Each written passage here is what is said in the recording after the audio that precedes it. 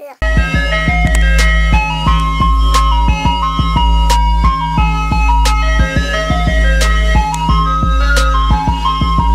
guys, it's Jay and today I'm here with my most anticipated reads for December 2017. I have a total of five books. I couldn't really find any that I was like super excited about, so I found five that are like, eh, I would read them. So without further ado, let us get started. First book that I have is called The Good Samaritan. It is by John Marss and it is supposed to be released December 1st, 2018. 17 and it follows a woman named Laura who works for a suicide hotline and she kind of uses this hotline as a way of making herself feel better about her own life and her failed marriage. A man named Ryan calls about his pregnant wife who recently committed suicide while holding hands with a stranger and he's trying to figure out who this stranger was to his wife and what the significance around her death is.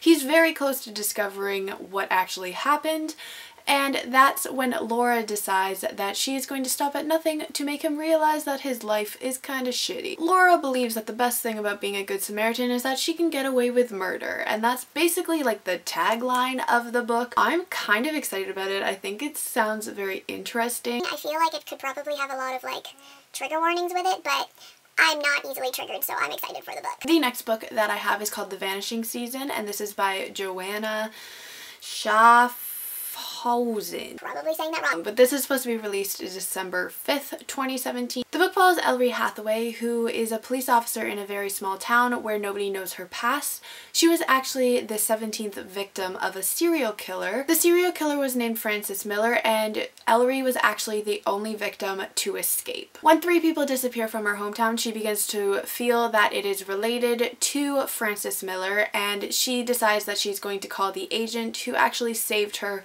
from the killer's closet so many years ago and it's basically that story. I'm intrigued.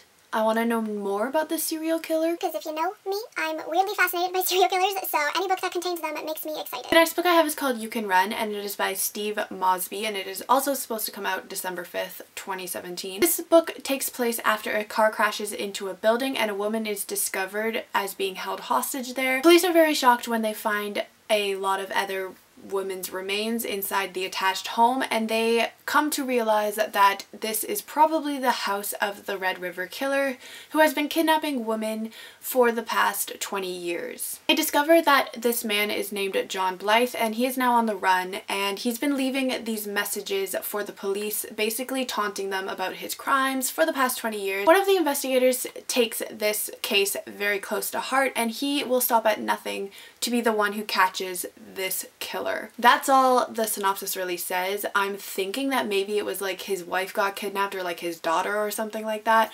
So I'm very excited to see what that is all about. And you know your girl loves herself some mystery thrillers, so I'm excited. The next book I have is called The Truth Beneath the Lies and this is by Amanda Searcy and it is supposed to come out December 12th, 2017. The book follows two girls. One is named Kayla and all she wants to do is run away. The other one is named Betsy who is just trying to survive and when fate brings the two girls together only one will survive and that's basically all the back of the book says. So it sounds pretty intriguing. I want to know why only one of them gets to live. And then the final book that I have is called Love, Life, and the List by Kasie West. This book is supposed to come out December 26, 2017, and it follows a 17-year-old named Abby Turner whose summer is not going as well as she planned. She has a crush on her best friend named Cooper and he doesn't feel the same way.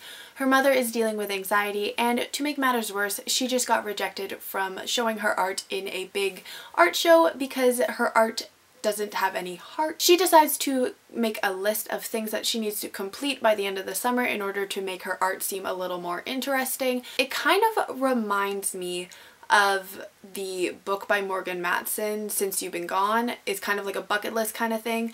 So I'm intrigued. I liked that book, so hopefully I like this one. And also I usually like Kasie West writing. Alright guys, so that was my most anticipated reads for December 2017. Let me know down below if you're excited for any of these ones or which ones you're excited for yourselves. And I will see you all in my next video. Goodbye!